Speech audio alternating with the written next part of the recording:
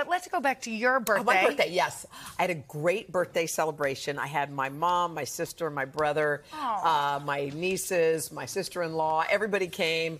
We had cakes and parties, and we celebrated, and it was great. And by you the slept way, on an air mattress. We all there were air mattresses and people stepping over people and not enough towels and nobody All the things. There's no food, the usual. But here's the great thing. What I realized is I turned 59 this year, and I am so happy to be 59 this year.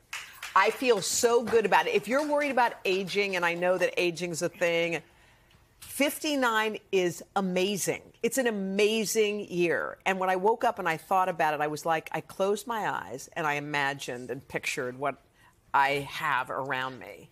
And I was thinking to myself, I'm 59 years old. I have two incredible kids. I've got my mom here and my sister and my brother and my nieces and my sister-in-law.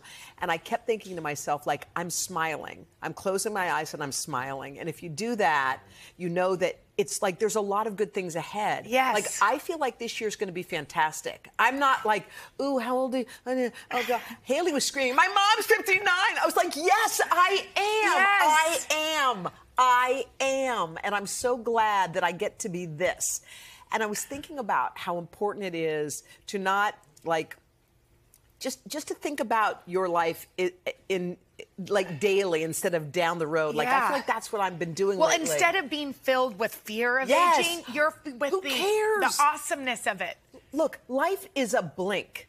Turn around, watch what's happening, watch the news. You you you're here and then you're like life is like that. So you have to be in it. You can't be regretting. Yeah. I mean, I was thinking, what if I were 80 years old and God said to me, "You get to be 59 one more time. Go back."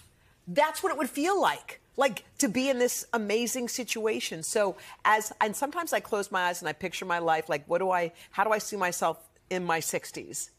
And I actually feel so full. I I can see what my 60s are going to feel like, and I like that feeling. And I want to think like, what's my life going to be ahead? I don't want to sit here and say, "Oh God, oh, uh, pull." Who cares, man? Who cares? I needed this that? pep talk today. Yes. It yes, because 59 is glorious. Yes. glorious, glorious. Thank you. Oh to my be gosh, 59. and I cannot wait till we celebrate 60, but I don't want to rush 59 by. 59's amazing. We're gonna And slow by the fit- way, we're gonna I'm slow excited it. about all the days, Yes. all the birthdays. I'm not. Oh God, well, how old are you? Uh, no, say it. Oh my Say gosh, I'm so happy. Say it. Say it. And Poppy is. Well, I know. And unfortunately, last night when Poppy turned eight, we were also trying to teach her the history of World War II.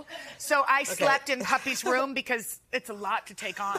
What happened? Why, why the teaching? Well, this? we're we're gonna go to Normandy, Oh. France. So I was trying to teach her the history, understand what she's and gonna be saying. unfortunately, Yeah. that was a lot for an eight-year-old, particularly on her birthday. And so I slept with Poppy in her room with a big nightlight right there in the face, and I was trying to be you and be like, "How lucky am I to live this moment?" When I'm 90, I'm gonna miss sleeping in this tiny twin bed with a squishmallow right next to my face. And but and it was it. okay. Yeah, you I know? know. But I need this. I, needed because you. because I think some days are good and some days aren't. You just got to power through. yeah, just drink great. a lot of coffee.